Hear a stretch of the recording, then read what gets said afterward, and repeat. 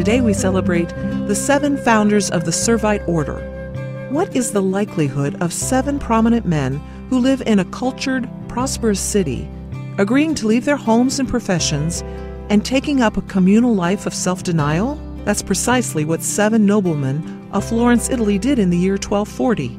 They withdrew from the city, relocated, and moved to a secluded setting for solitude, prayer, and penance. At least, that was their goal. But the men soon found themselves disturbed by constant visitors from nearby Florence, and so they withdrew to the deserted slopes of Monte Senario.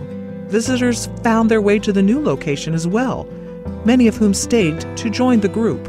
They adopted a religious habit similar to that worn by Dominicans, chose to live under Augustinian rule, and called themselves the Servites, or the Order of Friar Servants of Mary. Community members combined monastic life and active ministry. In the monastery, they led a life of prayer, work, and silence, while also engaging in parish work, teaching, and preaching. Servites came to the U.S. from Austria in 1852, settling in New York and later in Philadelphia.